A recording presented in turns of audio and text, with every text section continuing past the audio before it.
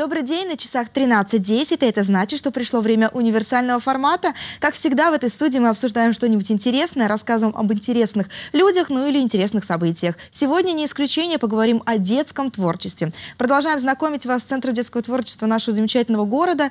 А, действительно, очень много направлений, очень много интересных центров детского творчества, куда с радостью приходят ребята, воспитанники, и которые добиваются небольш... Э, больших, точнее, успехов, немаловажных успехов. Что ж, вот сегодня к нам на огонек заглянул Центр детского творчества «Радуга успеха». Ну, собственно говоря, название говорит само о себе, то, что действительно успех, он не за горами, э, и многие воспитанники так или иначе себя проявляют в этой жизни.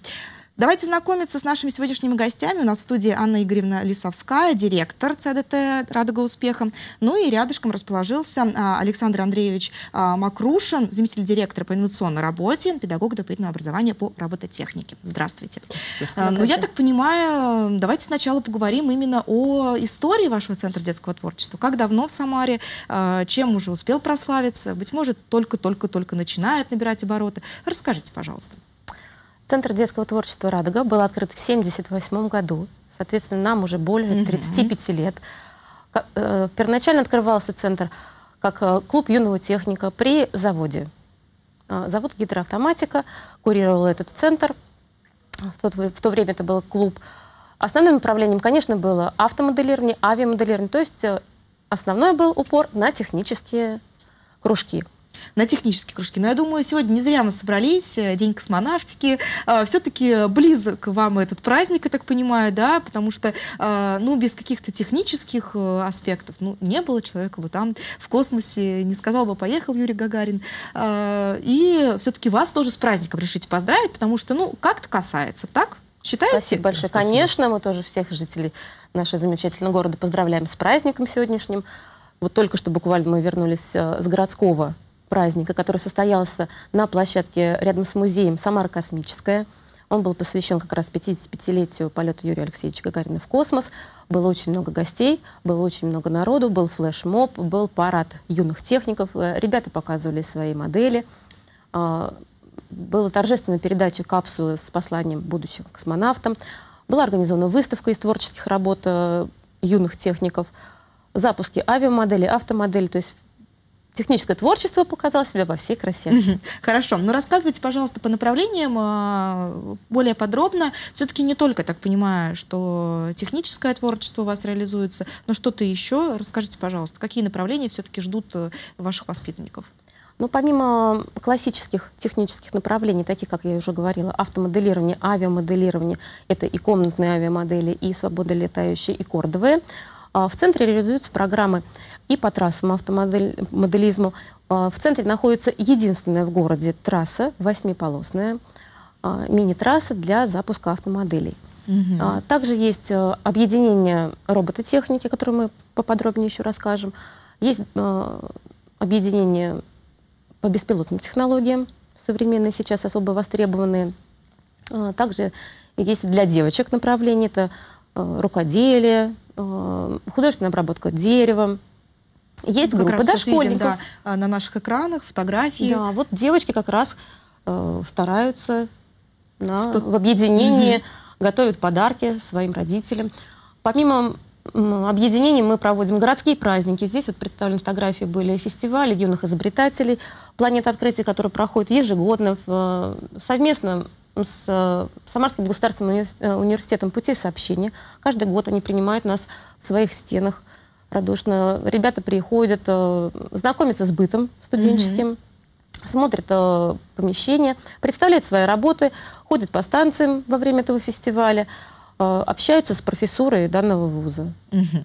То есть не просто внутри центра проходит работа, но и за его пределами вы являетесь организатором, так понимаю, э, интересных каких-то мероприятий, ну и участником мероприятий. То есть не просто у себя в центре э, успех-то у вас живет, да, так как мы услышали сегодня, и на городских мероприятиях, и где-то на конкурсах выставляете, так понимаю, правильно? Конечно. Мы, помимо того, что мы проводим соревнования и по автомодельному, и проводим вот такие научно-творческие конференции, как и фестиваль «Планета открытий», и историко-технический марафон, который проводился в этом году в конце марта на базе Аэрокосмического университета, был посвящен тоже этой знаменательной сегодняшней дате. А, Мы проводим э, и профильную смену по робототехнике, о ней мы тоже поподробнее расскажем. Наши ребята ездят на конкурсы, на соревнования всероссийского уровня, в другие регионы, являются чемпионами первенства России по автомодельному спорту. Поэтому успех Мгм. у нас везде. Мы надеемся, он так и будет вместе с нами. Хорошо. А какой возраст все-таки у вас, э, у обучающихся? С какого возраста ждете? А, Вообще, как попасть в центр? Потому что действительно сейчас э, многие родители так или иначе ищут э, кружки, как раньше да, называли, по интересам, секции, но находят школы, какие-то курсы, которые действительно платные и немалых денег стоят.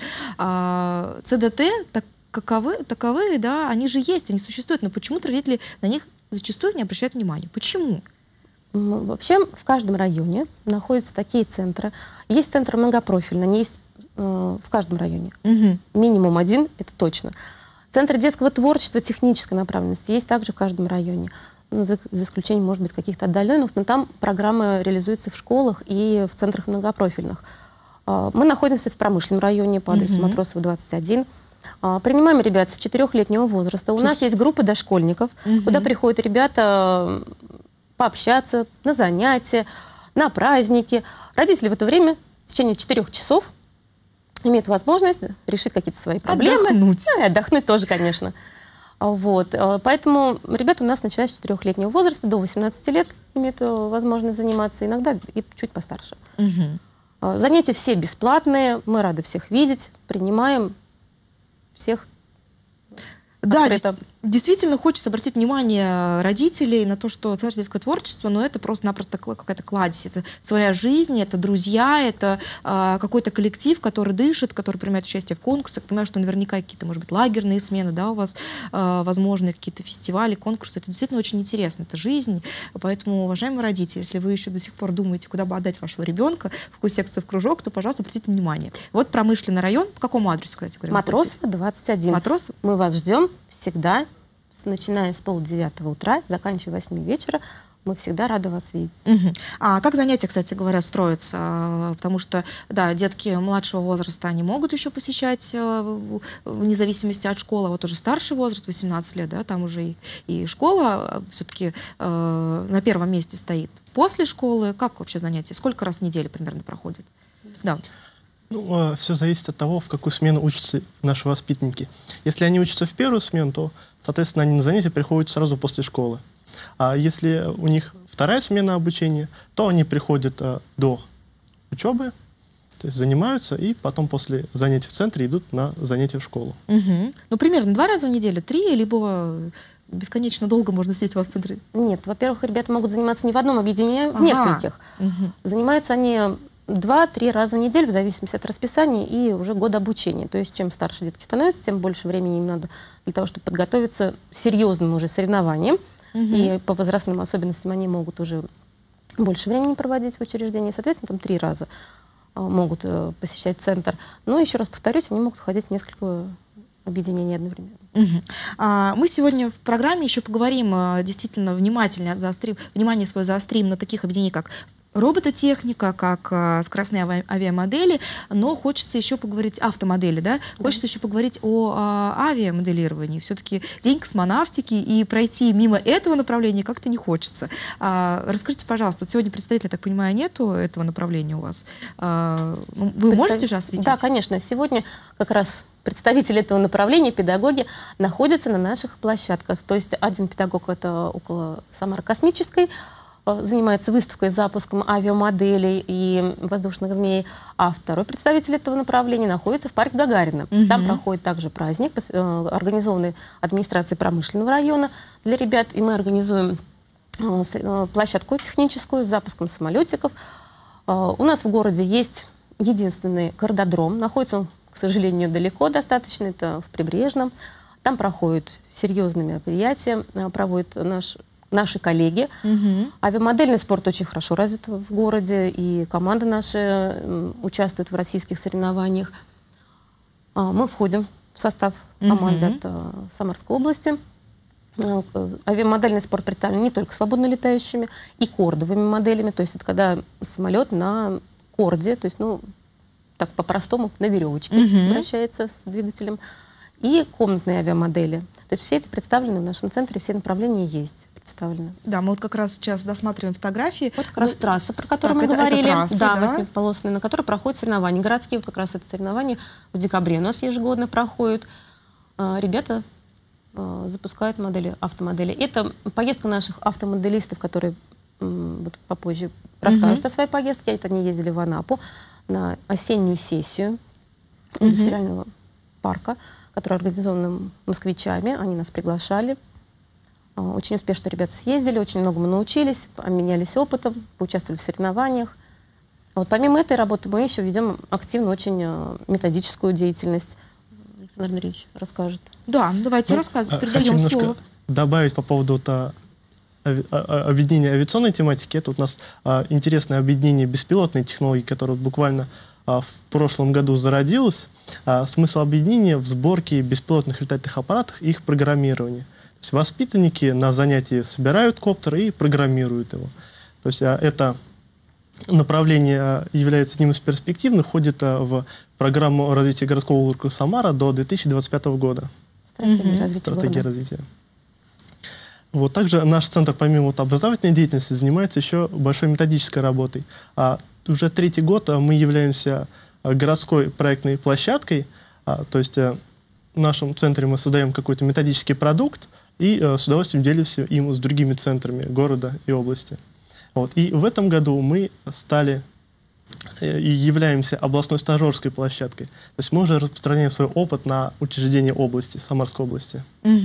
Ну, Хорошо, то есть по всем фронтам, так сказать, э, стараетесь э, вести работу. Это очень хорошо. Так, а, ну и по поводу, хочется спросить, ну, лично мне, да, действительно техническое творчество привлекает ли девушек? Потому что сегодня, скажу немножко нашим телезрителям, открою тайну, мы увидим все-таки представителей сильной половины человечества у нас в эфире, именно из воспитанников, да. А девушки занимаются техническим творчеством, увлекаются ли, любят ли все эти шурупы, гайки и так далее? Ну, могу сказать, что вот в авиамодельном а, объединении достаточное количество девушек. То есть э, девочки с удовольствием, причем и младшего школьного возраста, прибегают э, и строят свои летательные аппараты. Так как мы являемся еще организаторами соревнований по робототехнике, роботолегии, которые проходят это, э, также уже ежегодно, наблюдаются у нас девочки и в объединениях робототехники. Помимо того, что они там участвуют, они еще и призовые места получают, Мгм, занимают. вот да, вот. очень отрадно видеть девочек на ступенях пьедестала практически. Слушайте, ну это замечательно. А, так, ну, я думаю, то, что давайте уже позовем воспитанников к нам в студию. Хочется узнать, э, скажем так, из первых уст, чем же они занимаются, а, в чем видят свое предназначение, быть может, потом захотят связать себя именно с техническим, э, каким, с технической профессией какой-то. все это расскажут ваши воспитанники, поэтому вас отпускаем. Спасибо большое вам. А, но вот э, Александр Андреевич нам еще пригодится, который расскажет нам про свое направление. Так? Все, есть. Что ж, ну а пока небольшой сюжет и встречаем новых гостей в этой студии. чтобы не беспокоиться, жить позитивно, радоваться каждому дню, дорожить каждой минутой, каждой секундой. Наверное, залог счастья. Without worry, without Yeah, being too then- much concerned. We, Then, this is a then great, you, then you great should question. be here in Russia because I believe people Um, in Russia do not have to worry about anything. Мне кажется, вот российский человек э, сам по себе, он человек, который не волнуется, ему все по барабану, как, э, собственно, всегда. And they should live in peace. И вы, как россияне, должны жить в мире с другими народами, братскими. Thank you very much. Чтобы не беспокоиться, нужно больше делать. Тогда на беспокойство не останется времени. Больше нет никаких советов? Это основной совет, я считаю. Я не знаю. В принципе, я студент, мне сейчас хорошо живется. Я мало о чем забочусь, ну, кроме учебы. А так, я думаю, все прекрасно. Студенческие годы, молодость, это, наверное, самое то. Самое главное не грузиться. Так, как же это не беспокоиться? Сам себе задает этот вопрос. Читать, петь, танцевать, может быть. Нет, нет, нет, это не поможет. Это, не поможет. это поможет отвлечься. Я думаю, может быть, временно отключаться от реальности. Ну, как у меня, у меня полно проблем вот с мужем сейчас. Вот слепой хожу в больницу, все это, все везде за деньги. Вот, а я- но я работаю, правда. Я уже 7 лет на пенсии работаю. То есть вы считаете, работа это лучшее лекарство? Ну, конечно. И как ты там все-таки и в обществе находишься. Что ж, давайте встречать новых гостей в нашей студии, точнее, пополнение нашей студии. Итак, а, знакомься, это воспитанники объединения робототехника и лего-конструирования. Представлю всех поименно. Рядом со мной расположился Матвей. А, Рядышком со своим педагогом расположился Артем. Правильно? Ну и Мирон тоже здесь э, расскажет нам о своих каких-то успехах, каких-то о своих э, творческих задачах и их реализации. Так, ребят, рассказывайте, пожалуйста, а, можно сначала спрошу, да, у них, э, как давно занимаетесь вы а, в Центре детского творчества? Только лишь эта секция, либо, быть может, какие-то другие направления тоже сначала а, хотели освоить, но потом, может быть, забросили, может быть, нет, может быть, два направления у вас. Рассказывай, Матвей. Ну, а, увлекаюсь я этим практически с самого детства, а начал ходить в кружок и реализовать все свои мысли три года назад. Мгм. Занимался раньше авиамоделированием, но времени не Перешел хватало. на... А, то есть ты вс- всегда роботы были с тобой? И, Практически, и- да. и плюсом авиамоделирование, я так понимаю, да, было? Да. Мгм. Но потом э, решил, все-таки за двумя зайцами, наверное, не угонишься, Да. и пошел э, именно по этому, по этому направлению. Хорошо. Артем, свою историю. Как давно? Ну, я начал заниматься два года назад. Э, Ну, я не всегда увлекался роботами, я увлекался больше спортом, чем техническим направлением. Ну, меня позвал Матвей с ним Ага. заниматься. То есть вот так вот, друзья. Ну, а я в свое время позвал Мирона. А, ну и все. Собственно говоря, тут за Мирона все уже сказали, как он попал. А, как давно, кстати? Тоже, Тоже около около двух двух, лет. лет. назад. Мгм. Так, ну давайте теперь э, Александру Андреевичу дадим э, слово. Рассказывайте, а, что же сложного, что же интересного в направлении робототехника и лего-конструирования? Что вообще скрывается за этими, ну, непростыми словами? Ну, на самом деле ничего сложного там нету. А, наборы а, для роботехники появились в нашем центре три года назад. Вот. И за это время мы уже проводим а, два мероприятия по роботехнике. Это «Страна роботолегии». И а, второе большое мероприятие, оно проводится как раз в рамках областной стажерской площадки. Это первенство городского округа Самара по роботехнике. А непосредственно о том, чем же мы занимаемся в объединениях. А, ребята у нас а, собирают роботов а, и программируют их. А, робот а, предназначен для определенных целей. Если мы готовимся к соревнованиям, то это робот для соревнований, подготовленный по специальному регламенту, по требованиям к роботу. Если это научный проект, а, то здесь уже ребята реализовывают свои творческие идеи, то есть они пытаются как-то улучшить свою жизнь или улучшить жизнь окружающих, или Мгм. как-то спасти мир, скажем Это так. робот, который приносит тапочки с утра? Нет, не такие идеи улучшить, облегчить жизнь? Ну, это все-таки идея для одного конкретного человека, а мы все-таки стараемся делать таких Более роботов, массово, более которые глобально. пригодились бы для всех. да. Мгм. Вот. И буквально вот в том году а, мы провели первую смену по роботехнике в городе. То есть их до этого еще не было, мы провели первую смену по роботехнике. Вот. А смена получилась очень интересная, Мы сейчас насыщенная. видим как раз фотографии, которые... Это соревнования по роботехнике. Вот мои Мгм. воспитанники, которые на занятия собирают роботов. Вот. Это у нас было а, мероприятие в Аэрокосмическом университете, в котором постоянно принимаем участие. А, вот там был турнир по робототехнике. Вот тут вся моя команда.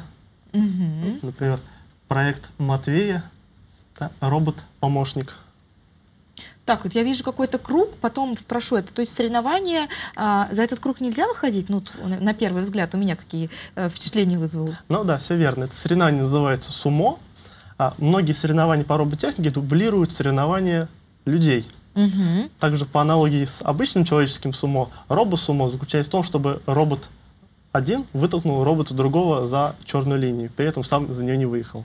Слушайте, это очень интересно. Какое вас занимательное это э, хобби, увлечение. Это правда. Так, хорошо. А, то есть вы э, не только, да, опять же, э, своих детей, я имею в виду по поводу смены, робота-смена. А, там только воспитанники вашей, э, Нет, вашего там- центра детского творчества принимали участие? Там были воспитанники со, со всей Самары, даже нам приезжала область, то есть у нас Мгм. в нашей смене участвовал э, делегация из Тольятти. То есть просто те, кто захотел по- познать себя, попробовать, а, быть может, в этом нелегком для меня мастерстве, мог принять участие.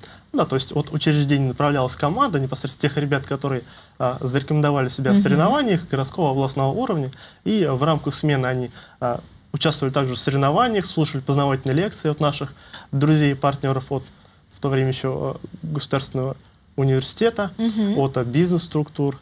А, то есть они приезжали и рассказывали ребятам интересные вещи, интересные факты о том, как сделать хорошие проекты и в будущем их ре- успешно реализовать. Такая традиция будет продолжена? Будет ли? Да, конечно. В этом году мы также проводим смену по робототехнике. Вот. В этом году было большое количество заявок, даже пришлось, скажем так, Урезать, да? урезать, да, Смотреть потому лучших, что- лучшие из лучших были приглашены. да, потому что был, поступил заяв- заявок очень много, но, к сожалению, а, лагерь небольшой, и большое количество команд мы не смогли бы там уместить. Мгм. Ну, в этом тоже есть здоровая конкуренция, поэтому, э, наверное, только на плюс это пошло. Так, хорошо, ребят, а, ну, я так понимаю, что здесь каждый пришел э, со своей игрушкой, если я так назову, вы не обидитесь, либо все-таки это у вас творение, как вот вы называете своего робота? Матвей. Ну, в принципе, и игрушка, и небольшая реализация ми- Мгм. мечта. Мгм. То есть, в принципе, а, так дома можете поиграться с ней? Да. Да. Не так, что ставите под зеркало, все, не трогать никому, это мой проект. Нет. Можно. Давай посмотрим, что это вообще такое, как им управлять. э, а, объясняй, что будешь сейчас делать. Управлять можно как и с дистанционного управления, либо с телефона, либо с э, специального пульта, либо запрограммировать а, какую-то именно траекторию, либо программировать с датчиками. То есть вариантов много. Да. Сейчас что будешь делать? Здесь небольшая такая траектория запрограммированная. А Вот, по- пожалуйста, проверка. Практически сможет ли робот э, поездить, не э, упадя со стола, да? Посмотрим. Практически соревновательный момент.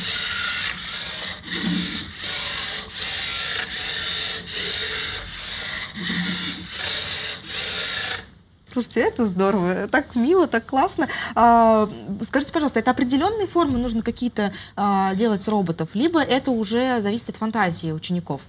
Ну, на самом деле, а, скажу такой факт, что комбинаций из деталей, которые можно собрать, Мгм. бесконечное множество. Поэтому даже готовясь к соревнованиям, тоже к одним и тем же соревнованиям, по одному и тому же регламенту, у каждого воспитанника получается свой собственный робот, свой индивидуальный робот. То есть своя Мгм. конструкция, даже своя программа для участия в соревновании. Мгм. Хочу обратиться к Мирону и Артему. Расскажите, пожалуйста, я так понимаю, что это как раз ваши роботы, да, вот рядышком с вами. А, Артем, покажи, какой из них твой. Вот мой робот. Мгм.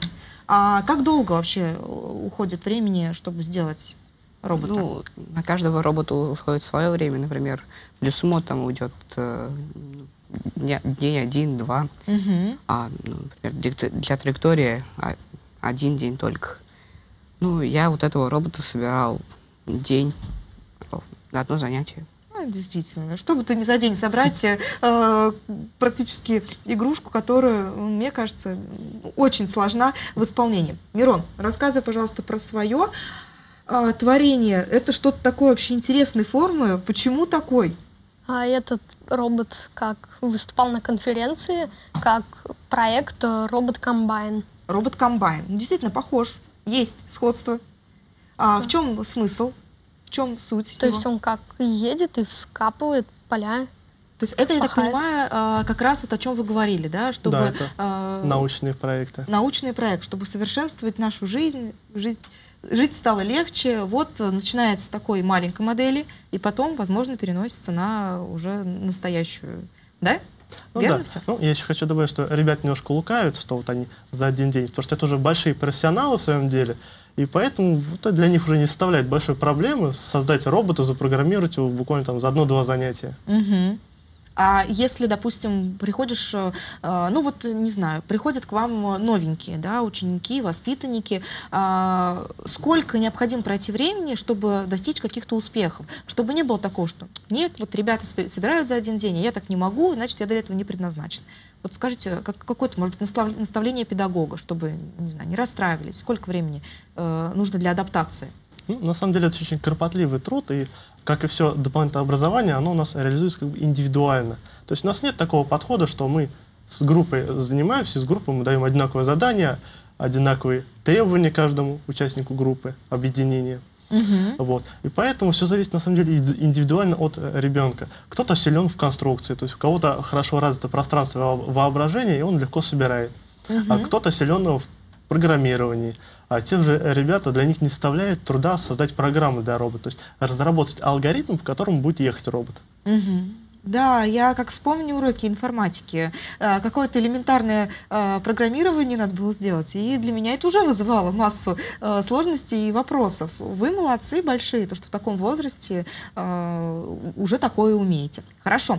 А, так, кроме таких роботов, что еще в вашем, в вашем направлении реализуется? Ну, кроме роботов, также мы участвуем в больших а, городских проектов. Один из таких проектов – это «Звездный десант». Это наши воспитанники, в числе воспитанников городского ок- округа Самара, поехали а, в звездный городок Мгм. вот, и посетили Центр подготовки космонавтов. Об этом вот как раз у нас расскажет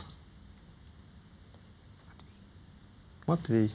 Матвей расскажет? Матвей, рассказывай. А, вот осенью 2015 года мы а, с многими центрами детского творчества на поезде поехали в Москву в Звездный городок.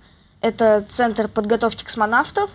Нам провели а, экскурсию, мы увидели а, макет в реалистичных размерах МКС. а, и даже была возможность поуправлять виртуальный, э, виртуальным МКС. Слушайте, ну это что-то с чем-то. Я представляю, для мальчишек это целое приключение, целая история. Хорошо, у нас еще есть а, небольшое видео, видеофрагмент. Сейчас мы его покажем, а вы нам расскажете, что это, а, где это снято было. Вот такая любительская съемка, но я думаю, что понятно. Ну, Так. на, на данном видео как раз представлен беспилотный летательный Мгм. аппарат, который собирают э, воспитанники в дни беспилотных летательных аппаратов. Вот. А, то есть они программируют и управляют этим летательным аппаратом. Мгм. То есть это как бы то, к чему я веду своих воспитанников.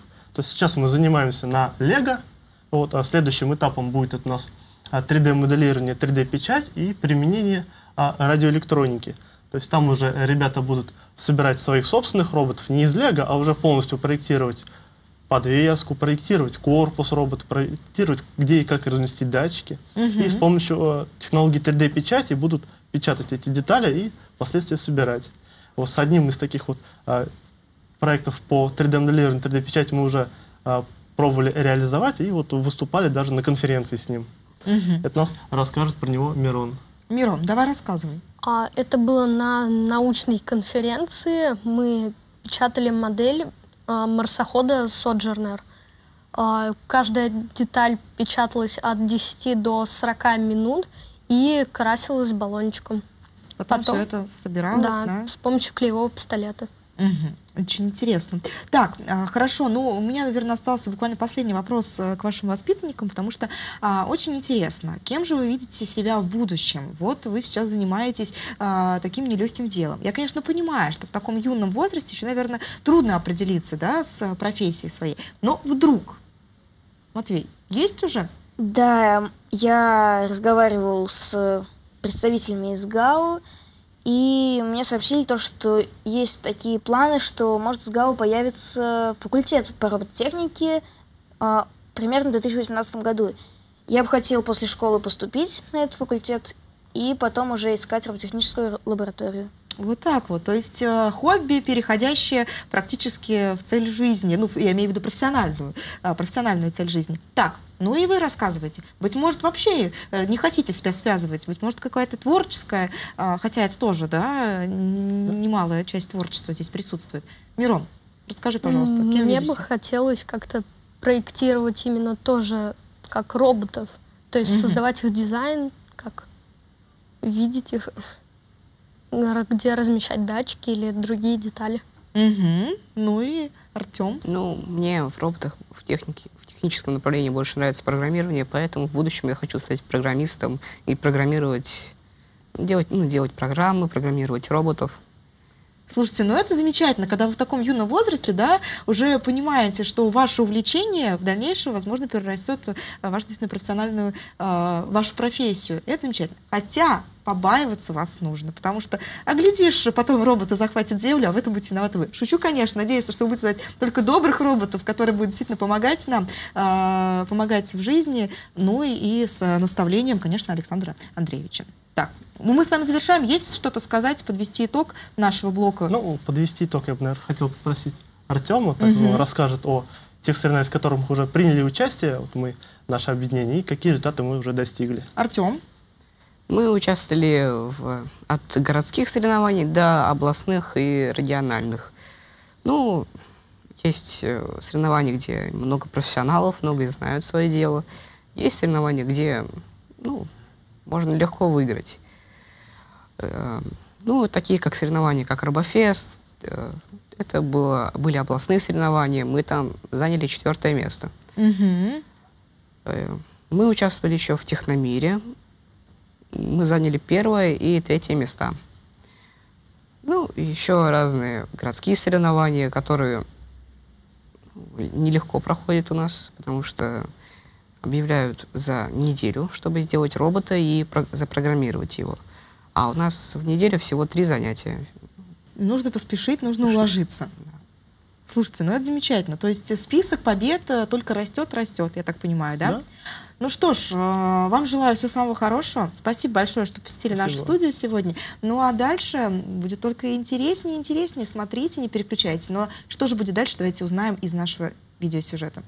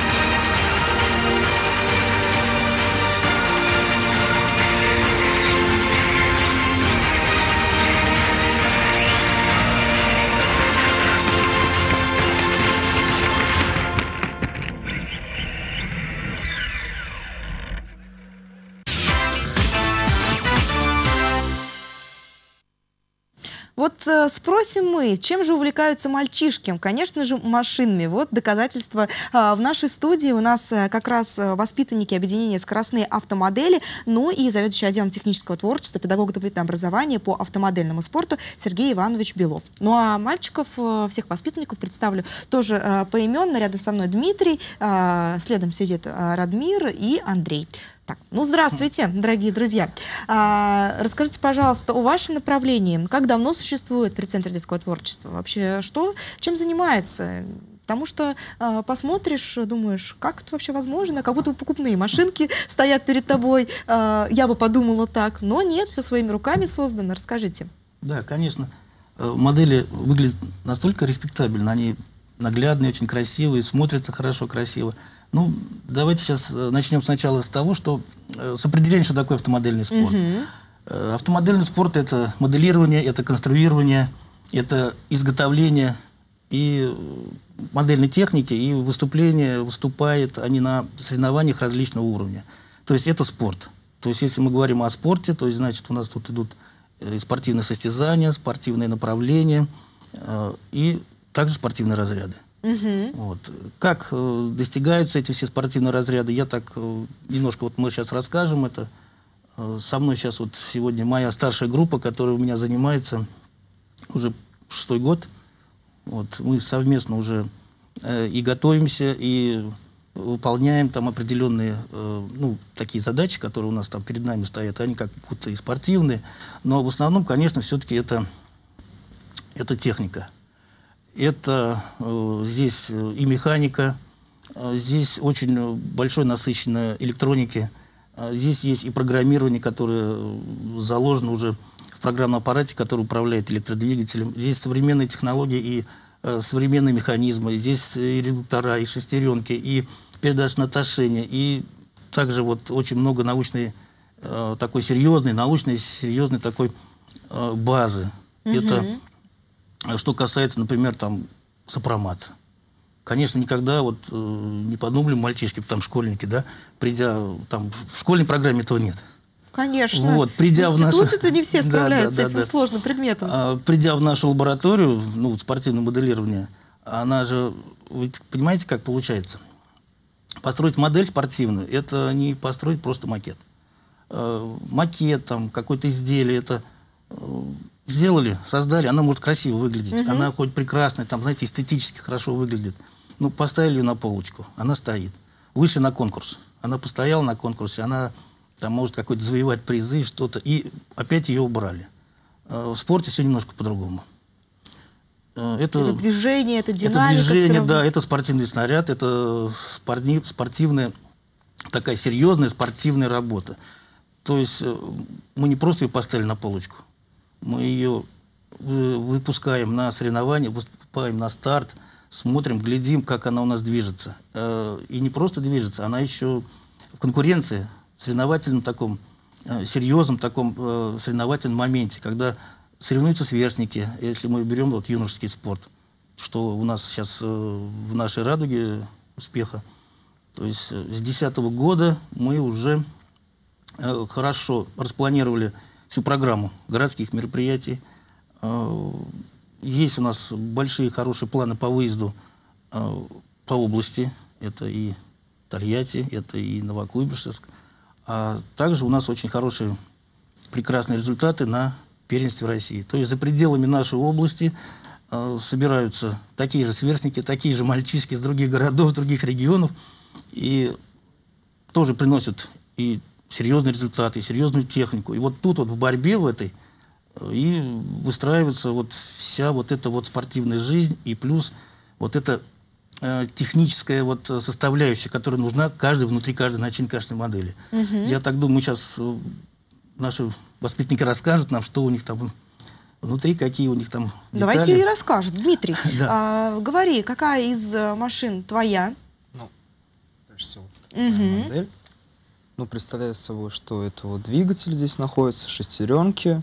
Дальше идет, э, то есть рычаги, которые приводят колеса в движение, регулятор скорости, то есть сам питательный элемент аккумулятор. Дальше вот сервомашинка идет, которая управляет, э, то есть ну право, влево, банально Мгм. достаточно. И приемник для приема радиосигнала, который идет от пульта. То есть это регулирование скорости э, вправо-влево и движение назад. С какой скоростью разгоняется машинка? Ну, это все зависит в первую очередь от количества витков у двигателя. Вот здесь вот стоит у меня 9,5 витков. Мгм. Ну, при, наверное, на асфальте она около 60-70, по пересеченной местности, ну, километров 60 точно будет ехать. Слушайте, ну достаточно, да. А, Быстро, быстрая машинка. Хорошо. А где ты участвовала в каких-то соревнованиях уже? Ну, в первую очередь, это и городские соревнования, и областные. Ну, самое такое большое достижение – это вот первенство России. В прошлом году я занял первое место. Мгм. С этой? Нет, была другая модель. другой Это, ну, я поехал, я понял, что, что мне нужно улучшить, что мне нужно добиться еще, где нужно поднажать. И вот сконструировал новую модель, собрал ее и, то есть, получается, как-то эволюционирую, пытаюсь что-то делать лучше по сравнению с моими прошлыми результатами. То есть это вот в данный момент вторая моя модель. Мгм. Хорошо. А, Радмир, рассказывай, пожалуйста, про свою красотку. Здесь моя модель. Ну, в отличие от модели Димы, она рассчитана несколько на другой функционал. То есть Димина модель, она рассчитана для езды по бездорожью, Мгм. для скоростной езды по бездорожью. Моя модель рассчитана на э, гладкую трассу, абсолютно ровную асфальтовую. И главная ее суть, как можно быстрее пройти определенный участок трассы. То есть заезд длится 5 минут, и максимальное количество кругов счит- э, считается у каждой модели. Та модель, которая набрала больше количество кругов, соответственно, выигрывает. А, правильно я, ли я понимаю, что очень важно, чтобы модель была легкая, потому что это способствует. Либо нет, либо здесь вот э, какая-то определенная женская глупость срабатывает, что чем легче, тем быстрее. Нет, безусловно, вы правы, да, действительно, модель должна быть как можно легче. В противном случае в повороте инертность модели и ее излишний вес будет играть плохую шутку. А, Сколько не, не- не ездит скорость? А больше 70 километров в Больше час. 70 километров. А сколько намотал километров? Есть уже такой? Нету?